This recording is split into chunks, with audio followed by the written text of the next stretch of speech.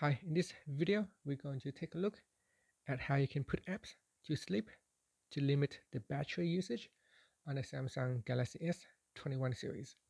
First, tap on the home key to go back to your home screen.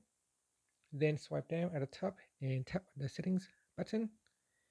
In settings, you want to go down and tap on battery and device care.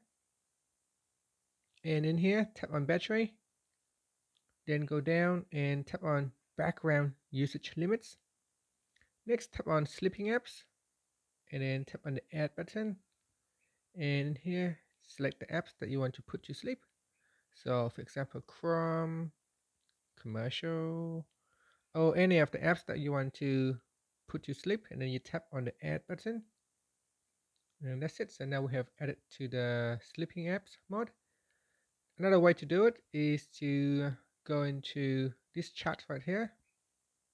And once you're in this chart you can see which app has um, using a lot of battery especially on the background. You can tap on that. And then you tap on limit usage.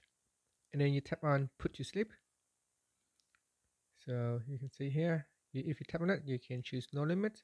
Or if it's already been put to sleep then you can go in here and put it to sleep. So sorry. So if it's been put to sleep, you can choose no limit. If there are no limits on it, you can put it to sleep. And that's it. So if we go back in here, in background usage limits, and if we check the sleeping apps, you can see Samsung Internet has now been added to the sleeping apps mode. So if we tap on edit apps, we can select the app and then tap on remove and that will remove the sleeping apps uh, the, that's where we move the Samsung Internet from the sleeping apps.